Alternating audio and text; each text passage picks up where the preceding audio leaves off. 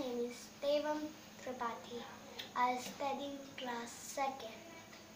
आज हम बात करेंगे शेयरिंग केयरिंग शेयरिंग केयरिंग देखिए, जब जब एग्ज़ाम्स होते हैं, तब जो बच्चे होते हैं, उन पर प्रेशर ना डालें जब एग्ज़ाम्स होते हैं तो जब पेपर वो लोग करते हैं, तब उन्हें ये चीज़ें याद आती हैं कि हम, अगर हमारे अच्छे मार्क्स नहीं आए तो फिर हमारे माता पिता जो हैं, वो हमको डांटेंगे। इसी कारण से आपने एक बार पीछे कब एक न्यूज़पेपर आया था, उसमें बताया गया था कि माता पिता ने इतना प्रेशर डाला बच्चे के, कि बच्चे के कम नंबर आने भी उसने आत्महत्या कर ली। अगर आप चाहते कि ऐसा आपके बच्चे के साथ ना हो तो उसमें प्रेशर मत डालिए। अगर प्रेशर डालेंगे तो उसको एग्ज़ाम में तो पहली बात की ज़्यादा बनेगा भी नहीं। और हाँ आप देखते ही होंगे कि आप जब एग्ज़ाम्स का टाइम होता है, उसको पढ़ाती पढ़ाते हैं खूब। लेकिन हाँ आप उसके सलेबस पर ही पढ़ाए। अगर आप बाहर की चीज़ें पढ़ाएँगी, वो तो आएगा भी नहीं और पहली बात कि इतना जल्दी उसको याद भी नहीं होगा। इसीलिए कम चीज़ें पढ़ाए और बहुत देर तक पढ़ाए, जिससे कि वो याद भी हो जाए और कल पेपर में वो ची- वही चीज़ आए तो उससे बन जाए। जैसे कि एक बच्चा स्कूल जाता है तो उसके उसके पेपर में जो जो आता है, पूरी बुक से ही आता है। तो बुक की चीज़ें तो सबसे ज़्यादा लर्न कर, कराएँ। क्योंकि बुक में जितना होता है, उसी से वो आता है क्वेश्चन बना के। क्वेश्चन आंसर हाँ और बहुत वो, बहुत पेपर्स में तो इंग्लिश का जैसे हो गया ईवीएस का, उसमें वो आता है फिल इन द ब्लैंक्स उसमें स्पेलिंग्स दी रहती हैं जो कि बाहर जाती हैं।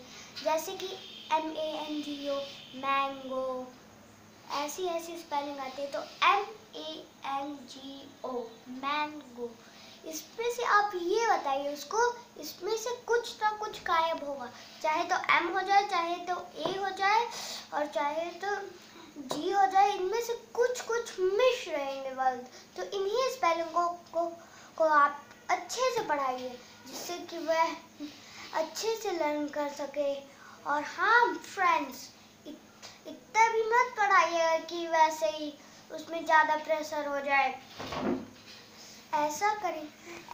है और हाँ फ्रेंड्स उसकी हॉबी में भी ध्यान दें। और आउटडोर गेम्स में भी वो आगे रहे। और हाँ जो वो बनना चाहता है, वो आप ज़रूर करें। और जैसे कि वो बनना, उसका एक सपना होता है। लेकिन आप बहुत सारे सपने बता बता के, जैसे कि दादी कुछ बताएँगी, और कुछ ऐसे ही, तीन हो जाएँगे, फिर चार हो जाएँगे, फिर पाँच हो जाएँगे।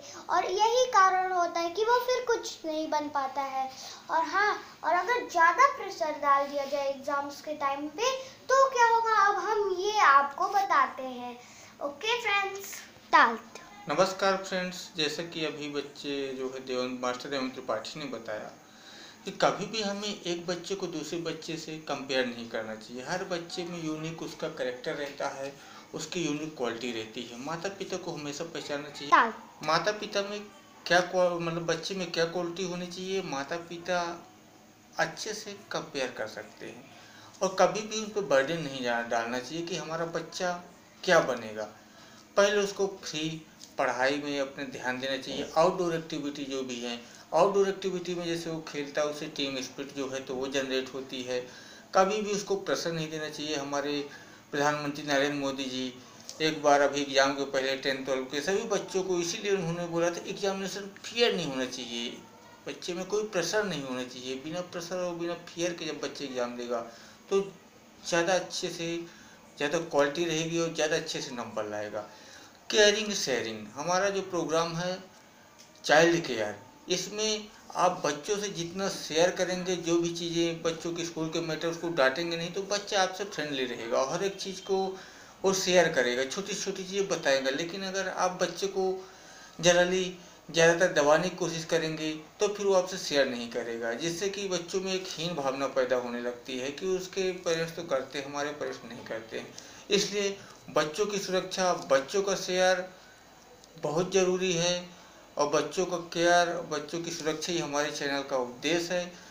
इसलिए हमारे चैनल को ज़्यादा से ज़्यादा सब्सक्राइब करिए, वीडियो अच्छा लगा हो तो लाइक करिए। डॉक्टर दिनेश त्रिपाठी, धन्यवाद।